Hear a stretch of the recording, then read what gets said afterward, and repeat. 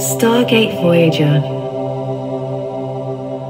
So, in this episode, I am joined by archaeologist Jenn Deyo, and we are going to dive into many interesting topics, uh, such as the earliest documented eclipse accounts uh, on record. Jenn's going to talk to us about ancient paleo- Paleolithic star mapping. I'm going to try to get her perspective on uh, the ancient history timeline that seems to be getting much older than conventional archaeology uh, wants to admit. I want to ask Jenn about uh, evidence she's seen for uh, the Younger Dryas impact and worldwide flooding. We're going to talk about carbon dating and is it accurate? Um, and then, if we have time, I want to ask her about several sites around the world, um, such as America's Stonehenge in New England, kind of near where Jenn lives. So, this is going to be an action packed episode. And Jenn, thank you so much for making the time to join me today. Yeah, I'm happy to be here. And you are also part of the uh, Earth Ancients podcast team with Cliff Dunning, one of my favorite podcasts. And I've always enjoyed the perspective you bring, Jenn, as an archaeologist. So, again, it's just an honor uh, to have you today and get to ask you all these questions. Oh, thank you. I appreciate that. How long have you been with uh, the Earth Ancients podcast team and Cliff?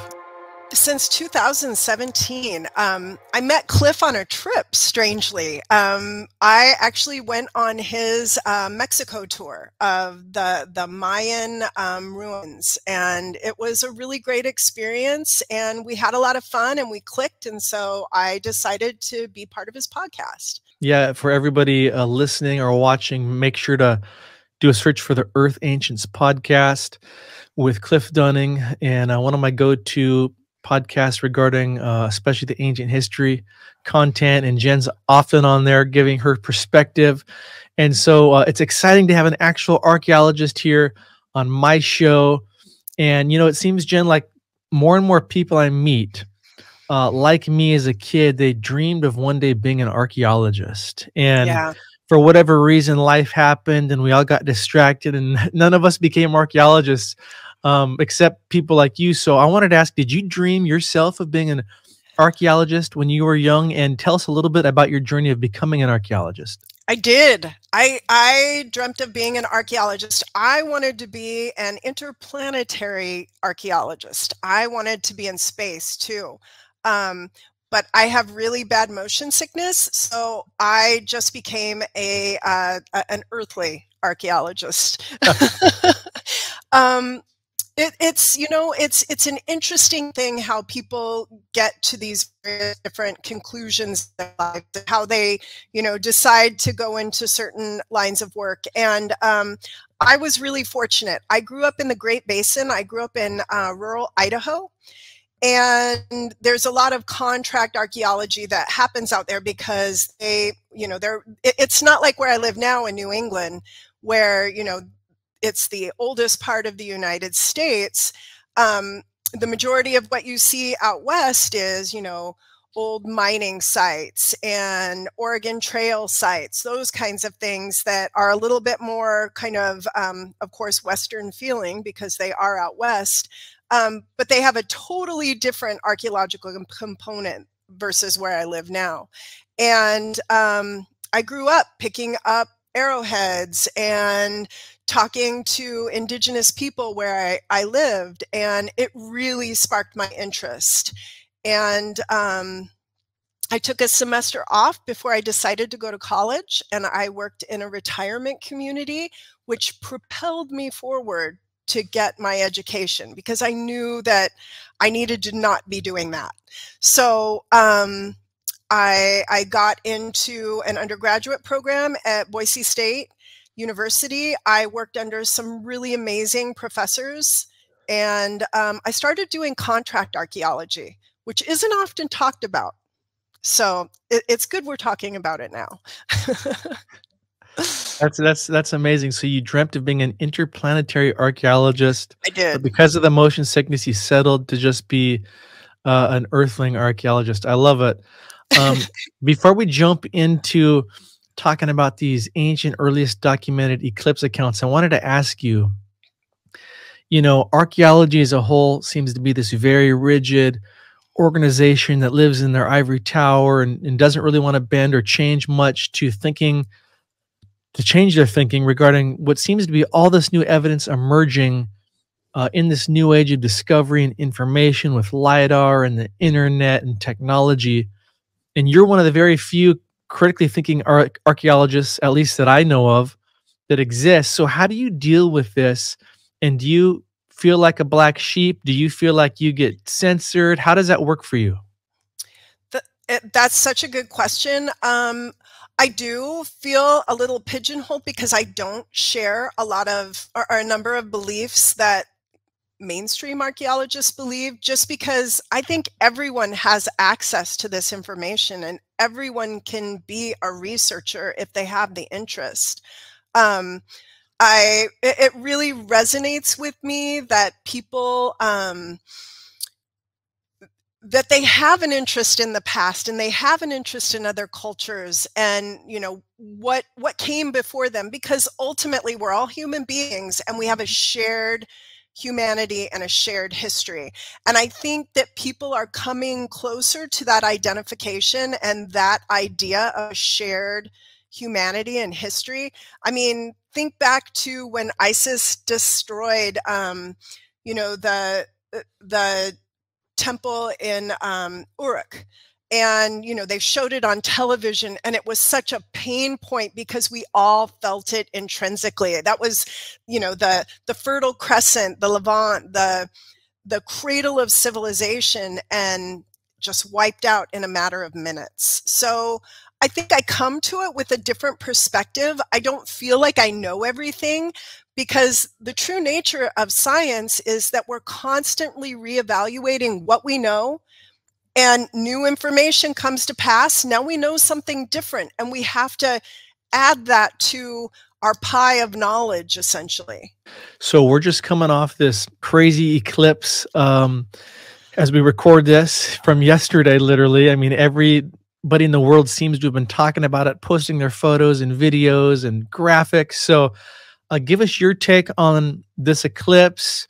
Uh, did you see it from where you were at? And then how does this dovetail to the earliest documented eclipse accounts that you have discovered? Yeah.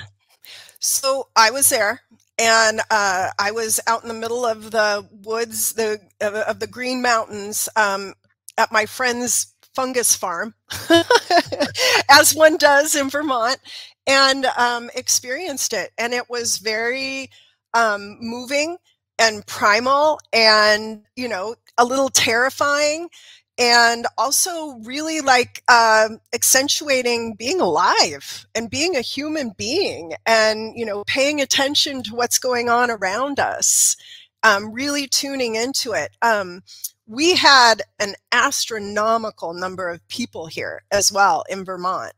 Um, which always just blows my mind, but we were in the line of totality for almost four minutes. So that's significant. So people yeah. really they took it in and they wanted to experience it in a way that was not only meaningful to them, but also um, this is my second total solar eclipse. So I don't know. That feels like an accomplishment in my book. Yeah, yeah I'm jealous hearing that because I'm up here in the rainy Pacific Northwest, and um, we didn't see a thing. In fact, it was it was hailing about the time it would have passed over. So, oh, that's a shame. I, I did hear that you got some very bad weather yesterday. So yeah. Yeah. My whole interest in this stems from, I mean, if we go all the way back and we start at the Paleolithic and just the ancients' knowledge of astronomy and what that looks like and how we interpret that as archaeologists and you know how we even talk about it. So you know how i just said we we acquire new knowledge and we put it back into the sandwich in which we talk about history or prehistory. And the way we understand paleolithic astronomy is totally different than how we used to interpret it or think about it. So um, I think the main things that you need to think about is when you think of astronomy is was it a religious practice or was it practical? And really, it can be both of those things because we don't often equate those things with the ancients. Like, were they thinking practically? I would think they would think practically, but almost everyone always wants to say it's shamanic, it's, you know, it's it's religious, and the truth of the matter is, it's not. It it because it doesn't necessarily need to be. Um, the earliest astronomy that we're talking about, though, is 40,000 years ago. So let's contextualize that. That's 40,000 wow. years ago. And you have a lot of activity in Western Europe, like Lascaux and uh, just in general countries, France, Germany, places where we know that a lot of early humans were inhabiting and they were using caves. And unfortunately, they're um, the structures that they were living in don't necessarily survive because of antiquity. They weren't living in caves. They might have been living in rock shelters or using them as, you know, some sort of a um, seasonal habitation site, but they weren't living in caves. I often have to tell people that because they're like, what were they doing back there? You know, and it's it's not like that. They weren't bears were living in caves. So this is how we're kind of understanding it. Um, we know that it's been confirmed that with the use of comparing the age of many examples of cave art from known chemical dating, not carbon 14, um, they were chemically dating the pigments that were used in rock art. So think of those reds, blacks, not a lot of whites or yellows are used um, during that period of time. Um, and they were basically using these pigments to show the positions of stars. So they're your earliest star maps, your earliest star maps around 40,000 years ago. And we see that like in dots, um, various different, um, I'm trying to think of, uh, I think it's actually at Lascaux, and it is around this time you see, um, it's in the shaft scene, I believe, and there's a dying man and animals and it's basically showing some catastrophic event that happened during that time that wow. killed this man and these animals. And it's basically aligned um, with some different stars. I believe one is Sirius, and I think another one is a pole star of some sort. And the pole stars change. That's another thing, too. So they use this complex software to find out where the pole stars would have been during that period of time and then corroborate it with this chemical testing of the pigments. So that kind of blows my mind um, that we can do that now because we were so heavily reliant on carbon 14 dating of organic materials that they would have found in the soil at those sites. Right. Now we're not as beholden to that. And maybe we should talk a little bit about carbon 14 really quick and why it's yeah. A little problematic. So, um, what is carbon 14 dating? Basically, I'm just going to read you a description. Uh, radiocarbon dating or carbon 14 dating is a scientific method that can accurately, in quotes, determine the age of organic materials as old as approximately 60,000 years and it was developed in the 1940s um, at the University of Chicago by William Libby. Um, there's that. Okay, so why is it problematic? Because right. I get this question a lot. You're not alone. Um, how accurate is it? So, because of the short length of a carbon 14 life, carbon dating is only as accurate for the items that they, uh, okay, is only as accurate for items that are thousands to 10,000 years to tens of thousands of years old, really up to 60,000 years old is the, the terminal date line for that. Anything older, it starts getting wonky because that, that, that date or that carbon 14 half-life changes and exposures to that carbon 14 half-life is what is really problematic. We don't know mm. what the exposures are, whether it's, you know, your field person's cigarette or the fact that, you know, um, there had been a fire around 40,000 years ago and now it's everything's dated at 40,000 years. So right. that's where it becomes problematic um, and not often talked about. And so chemical uh, dating sounds like you're saying is the much more accurate uh, formula.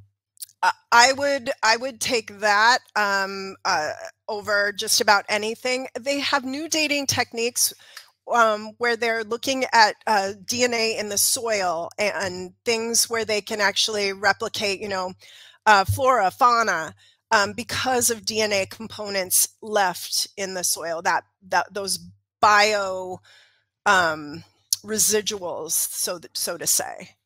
And tell us a little bit about uh, when was the chemical dating process created and what's that what's that look like a little bit well, there are a number of different chemical datings. There's like thermoluminescence. Um, this one in particular, where they dated the um, the pigments, they actually, I believe, they date like the um, when the pigment was processed because it actually modifies the structure of the pigment.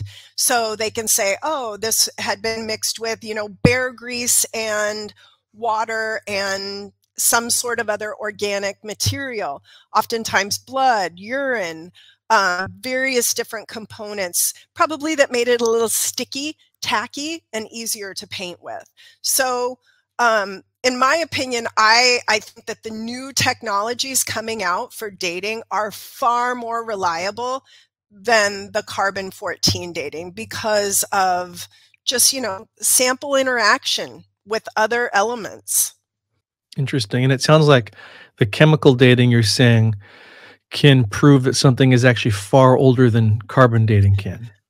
Absolutely. Absolutely. Okay. And it's, you know, you have you have the the fewer plus or minus. You know what I mean? There's there's not your your uh your rate of plus or minus, whether or not it's accurate or not. It, you don't have mm-hmm. that percentage. So in my opinion, I would go for uh, there are a number of different things you can use. You can use a chronological sequencing for your dating as well. It's just going to depend on what you're looking at and, you know, how accurate you need to be or want to be. It's also very expensive. yeah. And it also it speaks to the fact where um, you know, we have megaliths megalithic structures and things that can't necessarily be dated now based on what we know to be true. We can't date stones, not yet. We're not there yet, but I think we're getting closer. Um, I think it speaks to the fact of we have a number of megalithic structures that you could call calendric, calendrical structures. Um, whether you're talking about the oldest one, Adam's calendar in South Africa, um, you've got a number of geoglyphs like think of the Nazca lines and stuff like that that have also been called calendrical. Not all of them, but some of them have been called calendrical symbols. Um, I think we we don't think in terms of calendars like that because we're not as tuned in to the seasons or the outdoors or nature as much as our predecessors were. Um, and it really uh, it resonates with me their fascination with um, the seasons because you know you need to know when the monsoons are coming in if you live on the Tigris and Euphrates or the Nile because if you don't then you do have a catastrophic event we're talking about people who were um, highly tuned in to um, the seasons because that's how they stayed alive. They needed to know when the animals were going to be migrating. So it all feels very common sense. Um, now, when you're talking about the megalithic structures, that's a time investment. And of course, I'm going to go to Gobekli Tepe because everyone wants to talk about the tepes, Karahan yep. Tepe, Gobekli Tepe, and for good reason because they are on the precipice between the Paleolithic and the Neolithic. And remember, the Neolithic in Europe didn't happen at the same time as the Neolithic in the Middle East or Turkey, in this instance, Armenia, that kind of a region. Um, it happened much later. Even if you think of the Sumerians, Sumerians didn't start the Neolithic, their Neolithic revolution until about 6,000, 6,500 years ago. So there's there's a little bit of a, a, a space in there, especially if we're saying that the Göbekli Tepe folks initiated the Neolithic revolution as we know it today. Um, I don't know, that blows my mind. And yeah. if we're talking about calendars, are they indeed recounting a catastrophic event that happened to them around 11, 12,000 years ago, the Younger Dryas? Mm-hmm. So, with that said, I mean, you know, there's a lot to that's very meaty and juicy to talk about in terms of that. there's so much there with Gobekli Tepe. You know, it's kind of like a time capsule, right? Oh, Where, absolutely. And and again, as an archaeologist, uh, tell us a little bit about since you brought up Gobekli Gobekli Tepe, how the information coming out of this site forcing kind of the mainstream archaeology to actually rewrite their timeline? Oh my gosh, yes, in the best possible way. It's only 5% of Göbekli Tepe, that general vicinity, that's even been uncovered. And that's that crazy. should give us all pause. I mean, all of us. We should just all sit down and pay attention right now. Because not only is it, I don't think problematic's the right word, unknown, we don't really have any really one conclusive idea what they were doing there. I mean, we have a couple different ideas, but you know, they want to say it was fertility or it was a death cult or it was, you know, um, an area where people could meet and come together, join together for, you know, the harvest or whatever that might be. Um, and they all might be true. I've heard it been called, it's been called a school. Um, I've heard it called a number of different things. And the truth of the matter is, is we don't use space the same way that ancients did. Um, I tend to believe that this, what we, what they've uncovered thus far, I, I tend to think that it was probably some form of an area um, that they met after Younger Dryas to see who was alive, you know, who made it and mm. they wanted to venerate the folks that didn't make it. So there was a little ancestor worship that went on. We see heads. I think the newest information that came out is that they know that people were decapitated and that they were hanging heads from the the little roof structure that they interpret as having there. And they found this because of the wear patterns in the skull. Um, you know, just hanging out on a rope or some sort of wow. sinew hanging from these roof structures that existed. So, you know, at one time they said, oh, it was an open air site. Well, we know that's not necessarily true now because of these dangling heads that were somewhere in that structure. So, um, and speaking and, of speaking of heads, real quick, um, I think it's at Karahan Tepe uh, the actual stone head that's emerging out yeah. of the wall is just fascinating. It's and features, terrifying. yeah, it's it's it's it is this terrifying looking humanoid face um, that also seems to have kind of serpentine features. Oh, totally. And it's big old head coming out of that that particular enclosure. So it's like, and that's crazy. You're saying it's only five percent that's been uncovered. Yeah, Wow. Exactly. I mean, and that should give us all pause. I think what's interesting about that as well, Derek, is that think in terms of this. I mean, um, okay, so nine times out of 10, these were folks that survived um, this massive cataclysmic event, likely mostly hunter gatherers. Like, think if we had a major cataclysmic event today, the folks who would survive are the folks who live closest to the land because they don't need to go to a grocery store. They don't necessarily have to, you know, uh, drive their car wherever they go. They've got other modes of transportation. Um, so think of the folks that survived and created Göbekli Tepe as the survivors. Maybe having a, you know, a, a pocket full of people who still had some technological level of expertise, whether that's how to make a boat or how animal husbandry works or any number of different technologies, early technologies. Um, so what you see there is it's not as you know pretty as we would necessarily like it to be, but we're talking megalithic structures and a collaboration that would have to happen for all these people to build said structure.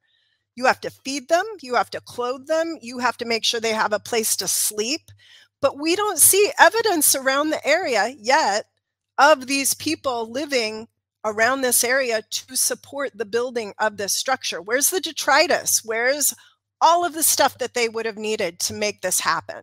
Yeah, Gobekli Tepe. I mean, and you've got these massive T-shaped pillars, which are multi-ton. Mm -hmm. And so if mainstream archaeology is being forced to say, okay, yeah, these are around 12,000 years old or so, um, then it's not a big jump to look at the Great Sphinx and say, well, um, maybe that's a little bit older too, right? Oh, absolutely. And we, we need to do that. So recently, I helped another researcher um, go back and look in some archives. And um, it, it was actually really amazing. Amazing in the fact that we need to go back to museums and review field notes. We need to look at problematic artifacts that didn't necessarily make sense in the moment when that researcher or when that archaeologist excavated that site. We need to reevaluate things in a way that perhaps we haven't before with new eyes. I think one of the things that we'll see is that they did the best they could in the moment in time but we have we've come from point a to like we're at point x now based on how people were doing things in the 1920s and 30s um, so we need to acknowledge that. Going back into these archives and these museums and looking at collections that have essentially moldered for years in these museums um, with no one necessarily looking at them and deciding if they are indeed what we were told they were. Because the reality of the situation, um, just in the cursory look that I did on um, the field notes for this research project, it, it wasn't problematic, but what had happened um, to say proverbially that the information had been buried, it had been reburied to the point where there was information that existed that basically said, no, there are actually um, there there's a layer beneath an inundation layer with another layer on top that doesn't necessarily tell the same narrative that we have been told this entire time. So Again, I think it's important for researchers, whether they have a master's degree, a PhD, a bachelor's degree, to go in and start doing this. And it's even more important for people from other disciplines like engineers need to get in there. They need to have geomorphologists and hydrologists and people who understand um, technology just in general to reevaluate these things because people were making a lot of assumptions early on. And with what's happening at Göbekli Tepe, I gotta just ask you. So with with mainstream archaeology being forced to admit that okay, this is way older than we originally thought or said, um, what what's the chatter been like that you've seen as an archaeologist? Are they like really begrudgingly admitting this, or are they trying to say, oh yeah, we kind of knew this all along, or what? What's the deal? Oh, that's a really good question.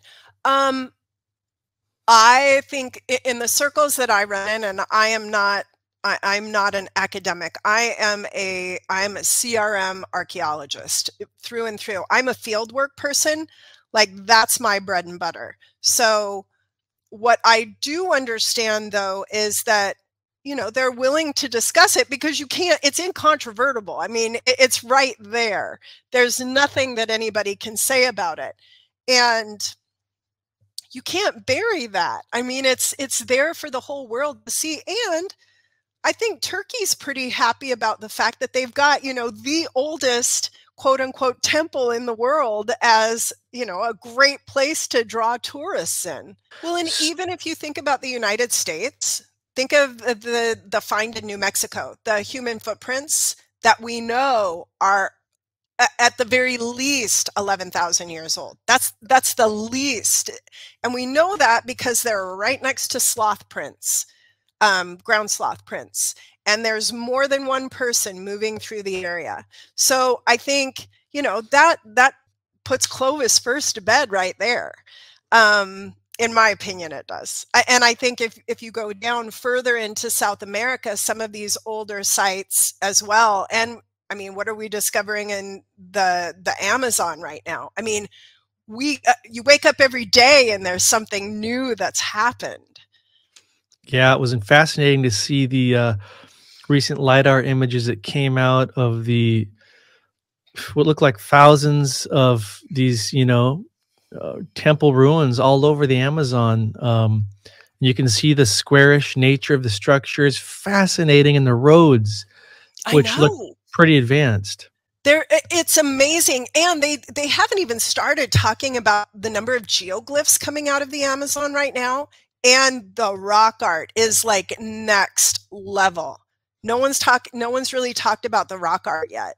Um, so, I, I mean, I'm I'm going to be really, really interested to see over the course of the next, I'd say, just year, um, what comes out of that especially with you know researchers looking at things differently now especially in relationship to um, i'm not remembering her name but i will she did this amazing work on uh, uh, rock art and is there a language in the rock art that we see across the board from africa to europe to the united states whether you're talking handprints um, dots cross hatching um, cruciform, whatever it might be.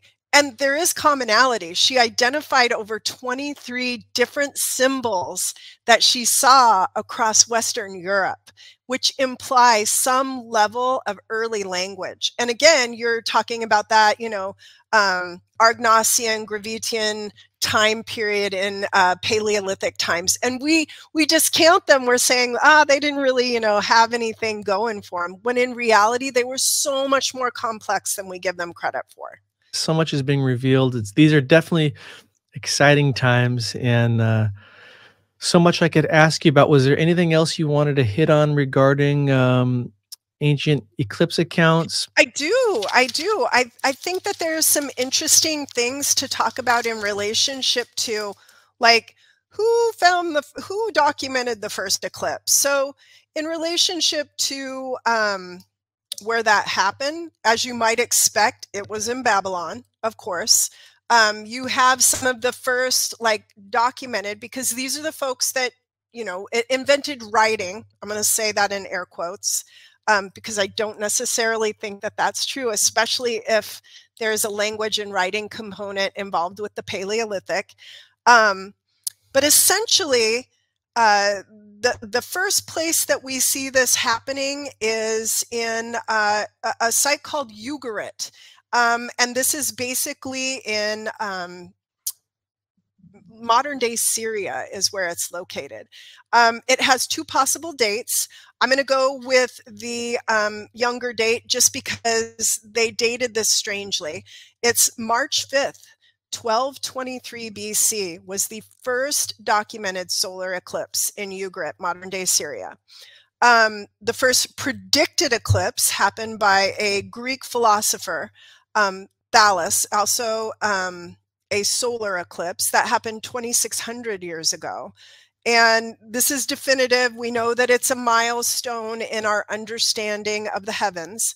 And then we go to China and we have um, a Chinese text. And it's traditionally said to have been compiled by Confucius, but I couldn't find that that that was necessarily true. And basically, it reads like this. I love this. On the first day of the last month of autumn, the sun and the moon did not meet harmoniously in Fang.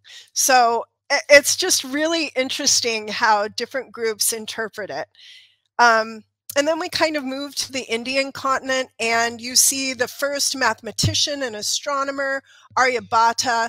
This is 476 to 550 CE. So there's a big range in there where you see this concentration of focus on eclipse. But if you even take that, you know, and encompass like all of the massive um, megalithic calendrical structures, we don't know what they all did yet because we have such a limited knowledge or a limited acceptance of what they necessarily did or stood for or you know, just what the whole purpose of their creation was. So I don't know, this this felt like the most concrete of eclipse information I could find. Um, but there's lots of interesting eclipse facts out there. And then just, you know, the whole notion of um, the fact that NASA now has a, uh, they basically monitor ancient sites and they now are keeping track of was this a solstice uh, megalith? Was this you know some sort of uh, tracking device for whatever it might have been i mean you can make up so many different things but it's really interesting to me that nasa is now taking on this interest in these ancient structures that we've kind of always known had lots of different functions, but didn't necessarily know what they were. That's fascinating, um, the NASA piece. And I remember interviewing Cliff Cliff Dunning last year. We were talking about Mexico, and he brought up how it was like maybe 15 years ago. He believes it was NASA was down at Chichen Itza at the Kukulkan Pyramid, and he was sharing how they had it all, you know, roped off and covered up, and they were basically testing this thing. Mm-hmm. And uh, I mean, that tells you a whole lot right there. If NASA's down um, secretly, covertly, almost testing pyramids for uh, energy and what whatever, right?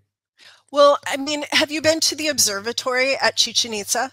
Yeah. Uh, that structure is just like next level astronomically because you can see the mechanisms and the gears that were likely in there that had been removed um, wow. and it was we we kind of lucked out when i was there we of course made friends with the guard and he allowed us to move in and you know oh, check wow. it all out um, and we were able to get like in it but it is shocking the amount of uh, just the intricacy and the mechanical nature of it that still even exists even though it's you know it's been completely it's it's been beaten up pretty badly. Yeah when i was there back in 2020 it was january of 2020 for right, right before things got real crazy. I remember being super disappointed because you know i'm used to going to peru and egypt where you get to go through the pyramids mm-hmm. and touch everything. And at Chichen Itza, it was so roped off. Yeah. It was a, I mean, I guess I should have brought more cash to, um, to to attempt some guards but yeah i couldn't hardly get near anything it was a real real bummer but that's crazy to hear about the mechanical uh component like structure of the the i mean you could see where something in the top of it allowed it to move I mean, there was a connection on the top, and then you could see, I mean, of course, it was made of stone, but a portion of it, you know, opens up, whatever it was, and you could see that it, it, it there was a fulcrum still in there of some sort. I mean, it was it was really amazing. And let me just, I got to ask you this: Do you believe that that was um, simply a Maya creation in their height, or do you think it might actually predate them? You know that is that's the that's the 40 million dollar question. Um i'm going to say this. I i don't know.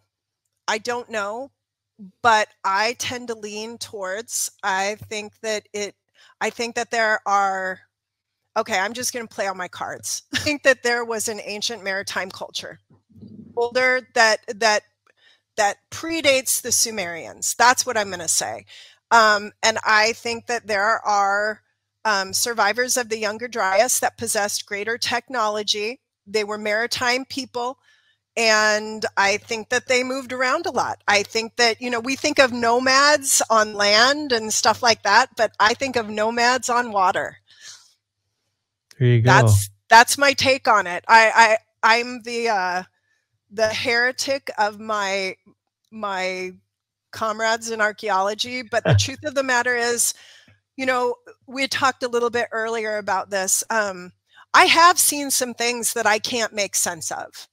And a big one of those things is I have excavated through a black mat.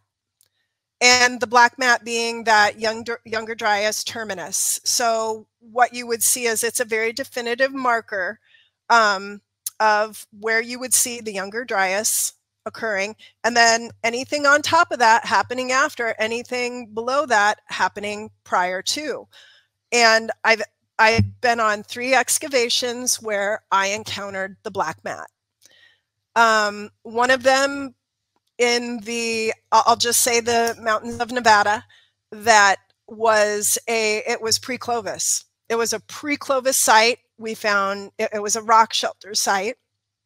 We found basketry, uh, beautiful fishing hooks.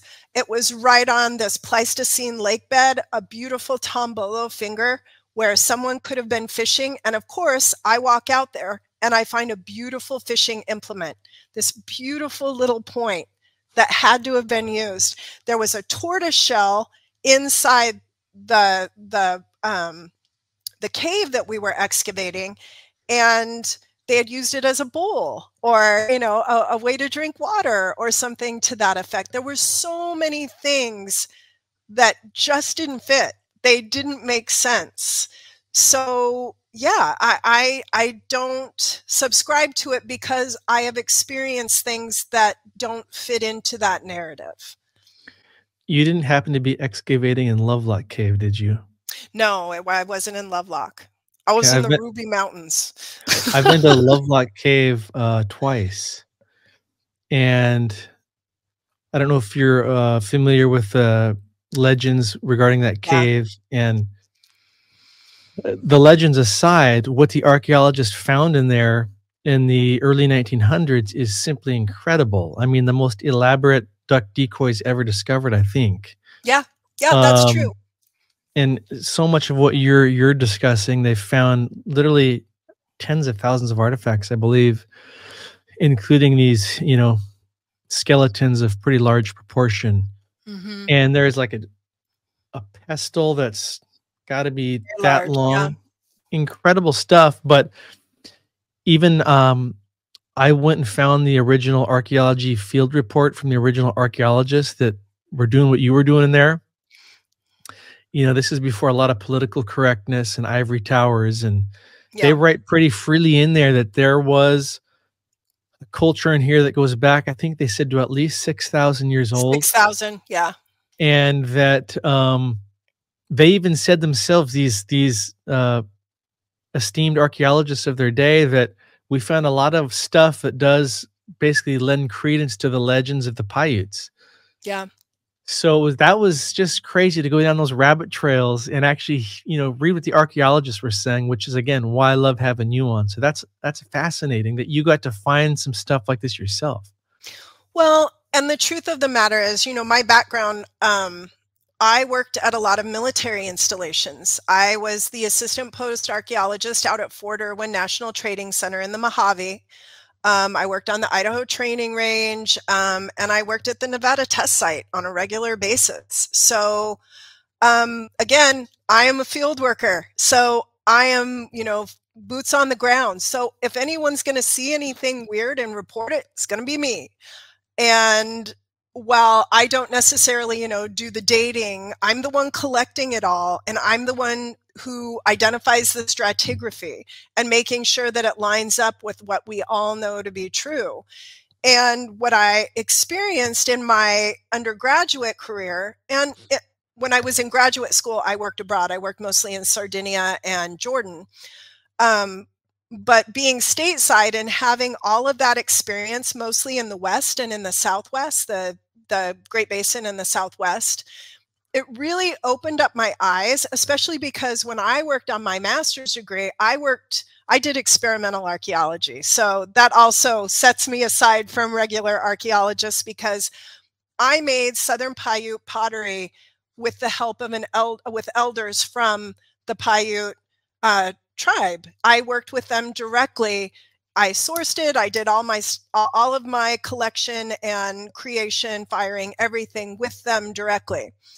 And I listened to their stories. I listened to what they had to tell me about their, you know, their history and prehistory and who they believe they are. And I think that that's my other big takeaway is that indigenous people are the key to understanding how, where, why we are and how we got here.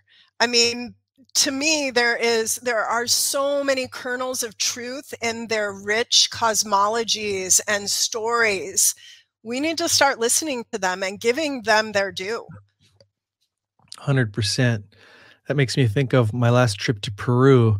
We had some amazing um, guides.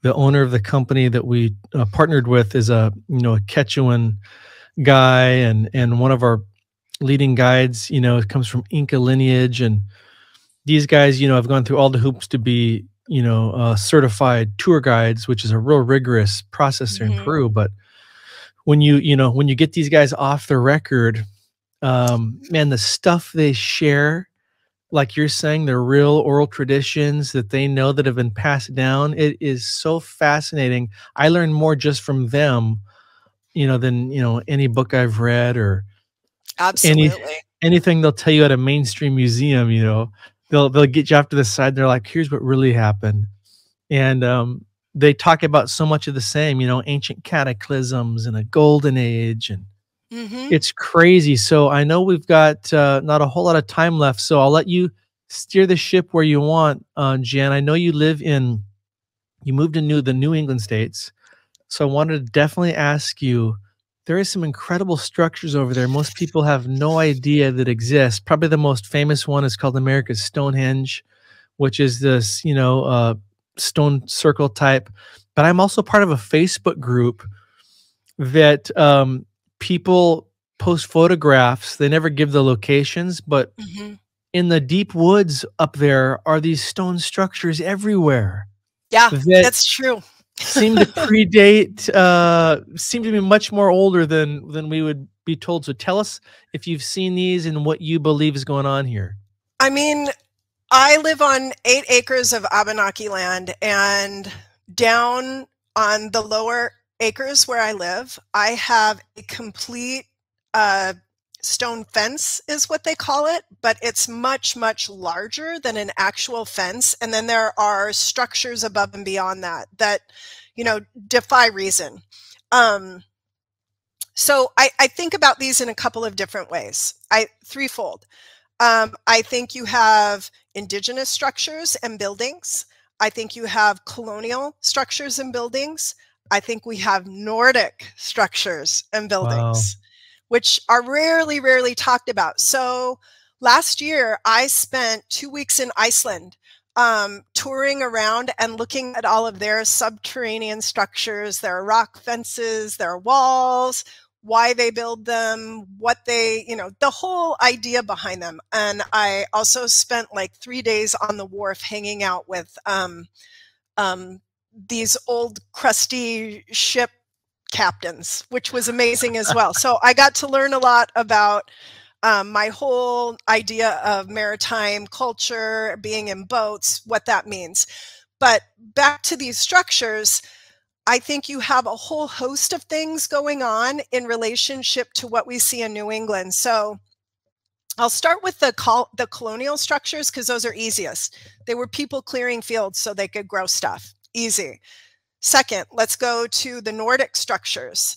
Um, we now know that the Nordic folks were all up and down New England um, because we found sites and they're not necessarily talked about. I'm going to a speaking event, actually, today's the 9th, so tomorrow, about a Nordic woman who settled on the coast of New Hampshire um, a thousand years ago, like 500 years before Columbus. And it's documented. It, it's documented on the Nordic side. It, it's documented in Iceland. So and even the Abenaki folks and some of the other groups in this region will say, yeah, we we they were tourists. They called them tourists. We saw them all the time. They were nice. They didn't try to kill us. Awesome. Um, and then let's talk about the Abenaki or the indigenous structures. These structures are so incredibly complex. They are some of the most um, involved earthworks that I've ever seen. Um, they almost always have a hydrology component. They're almost always associated with water. There is a lot of shaping. There's the idea that there, there was a um, serpent cult or a snake cult because you always see these beautiful heads that are shaped like serpents, almost always associated with anything that has indigenous identification. Okay, so there is a fourth component that I didn't add. Um, fourth component being back to America's Stonehenge, the possibility that there was another group or other groups that came over the Phoenicians, um, Bronze Age folks that you know were they were sourcing, they were looking for sources of bronze. Essentially, is what they were looking for, and resource management. Um, so I think there's a lot going on here now. Is America's Stonehenge Phoenician? It's been touted as Phoenician. They believe they've found glyphs that indicate or um, Phoenician writing. Now, it hasn't been proven. That would be a very difficult thing to prove. And honestly, the way the rock degrades here, it, it's it, it's really hard to discern. Um, it is a really compelling site. I'm not going to lie. It is. I, I've been there, and it's aside from you know the the current owner assigning like different values to it like it's a ceremonial site. This was the you know they were um this is the sacrificial slab. We don't get to know that. I, I mean right. that's that's out there. But i think that i think it should be investigated. I definitely think it should be investigated. Right now it's privately owned and i think that the owner does he does his own excavations which is a little bit problematic but whatever. He's going to do his own thing the local indigenous population. How do you say that name again? Anun- or, or uh, Abenaki. Abenaki. How old do you believe they go back? Oh, that's a hard that's a hard one to answer. I mean, I would say, you know, just like most um, ancient groups or uh, uh, native to uh, North America, they see themselves here um, since the beginning of creation. So I would say, I think uh, if they tell me that they're pre Clovis, I'm going to believe them. Um, mm-hmm. Um, I'm going to also say with the Abenaki, these are folks that they understand lifeways of the ocean. They understand how to navigate, you know, a, a small craft in a big ocean, a big water. So I don't know. Mm-hmm. I, I, think anything's possible. They're an ancient group, though. I, I do believe that.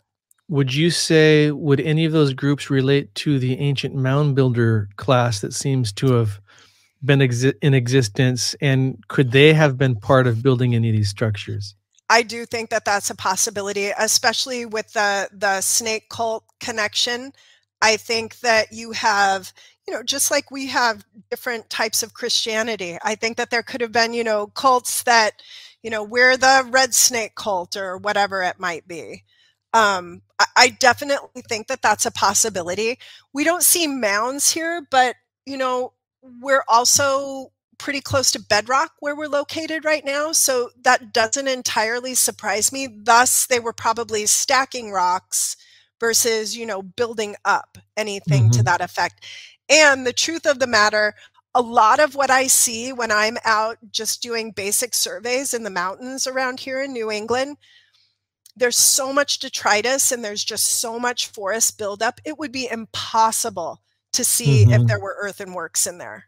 So back to the whole ancient history timeline, you know, it'd be great to just hear. And again, I don't want to put you in the spot or get you into any kind of trouble, but again, the mainstream, you know, narrative yeah. is that uh, you know, especially in Egypt, this goes back to you know the dynasty Egyptians. Came arose about 3000 BC and they built these pyramids as tombs. And before that it was just the pre-dynastics a bunch of cavemen walking around. Um, give us your perspective because I know you've been to Egypt. Yeah. when it comes to the Sphinx and the pyramids do you kind of uh, lean towards what Cliff would believe? Again Cliff Dunning from Earth Ancients uh, myself Mohammed Ibrahim and others that these pyramids are actually far older. Tell us a little bit about your thoughts on that from what you've seen. I do. I'm just going to say it. I know I'm probably getting myself into trouble, but um, yeah, I do. And I don't think they were tombs either. That the Great Pyramid, at least the, the pyramid, the Great Pyramid at Giza, I don't believe that, that that's a tomb. I, I, just, having been there and identifying just the mechanics of the structure, my husband's uh, an engineer.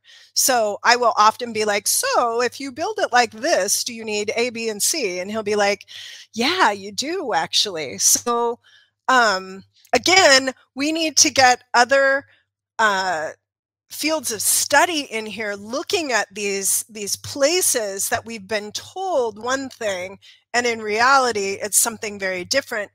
Even when i think of like the you know the the bent pyramid or the step pyramid or you know the red pyramid at dahshur these don't necessarily they don't jive with what we've necessarily been told in the sense where there's a there's a technological component that's been taken away or taken out.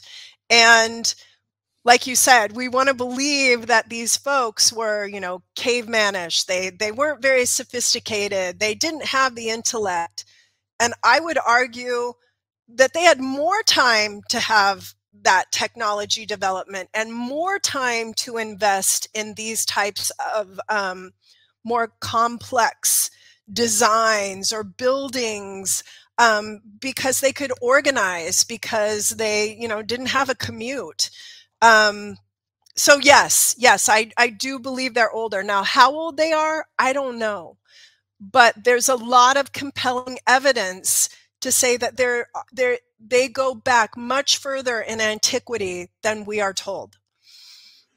And isn't it something when you actually go in the great pyramid how uh, the functionality doesn't even feel like it was made for humans to be, you know, traversing through. You mm-hmm. those those steep 300 foot descending passageways that goes down to the subterranean chamber with a little backpack on and a bottle of water. It's backbreaking to yeah. be bent over going down that shaft, you know, holding on to the railings and the staircase.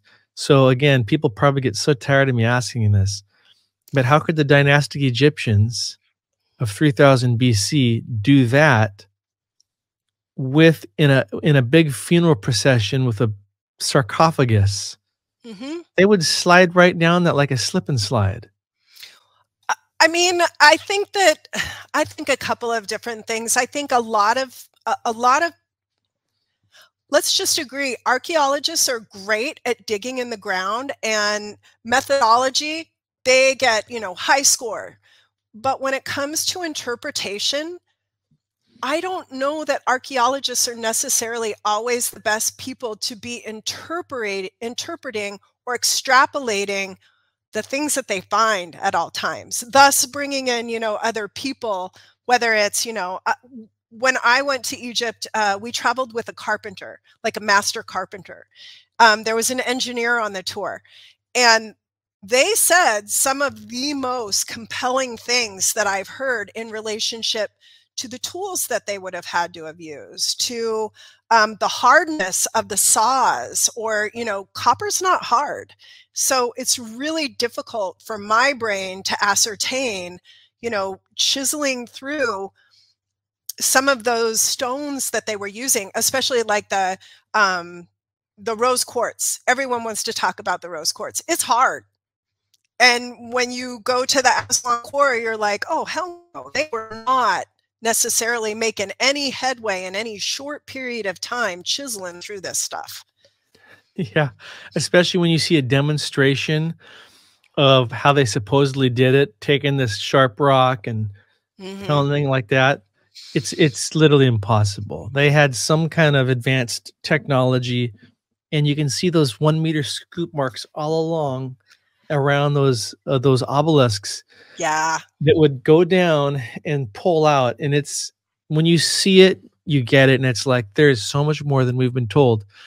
Well this has been a fascinating interview jenn. Any closing thoughts you want to uh, blow our minds with before we call it? I don't know if i have anything mind-blowing.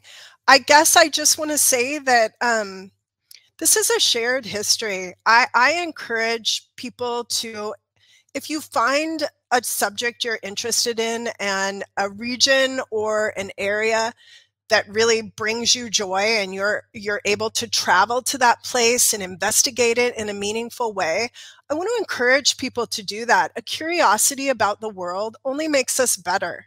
And people who have a different mind's eye a different perception bring such value um, when it comes to again interpreting how things were used or how we even think about them in this modern day without putting our own perspective, our own, you know, 21st century mind's eye on all things at all times.